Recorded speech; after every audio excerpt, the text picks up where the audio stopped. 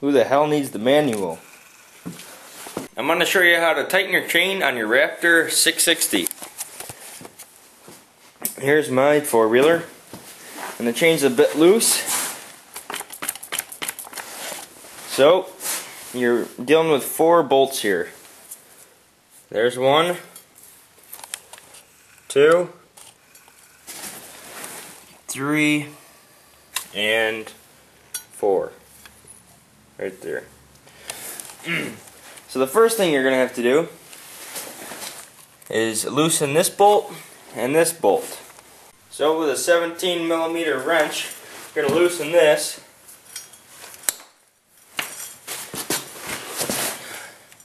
If you use your foot, it's a lot easier.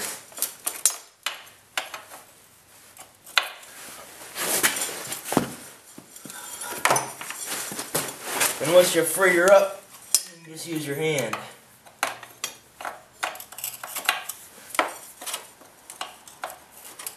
Just make sure she's pretty loose. The same thing up with this the other bolt I showed you. Make sure it's loose enough. So we're going to loosen these up.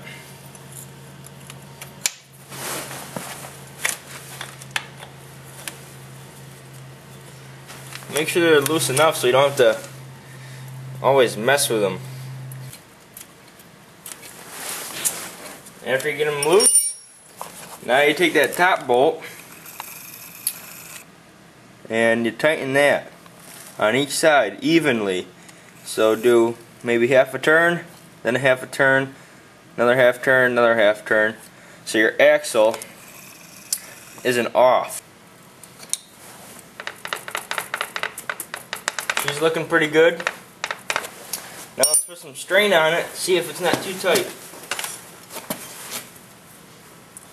She's perfect. Guys, remember, when you bottom your suspension out, you need a little give on your chain, or your chain will be too tight. Tighten those back up.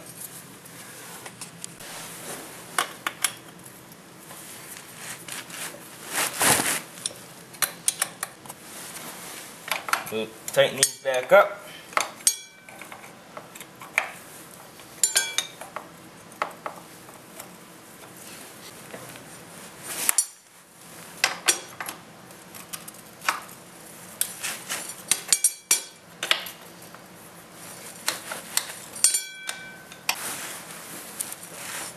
there we go.